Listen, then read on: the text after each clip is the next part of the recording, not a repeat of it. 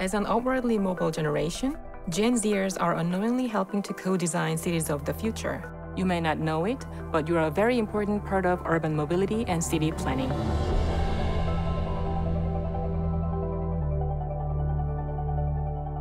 I always begin my first lecture by telling students we are not just civil and transport engineers, we are human behavioralists modeling movement to shape cities. We look at the digital footprint of everyone in urban settings. It's about us studying mass movement patterns and translating that information to ease congestion and reduce air pollution.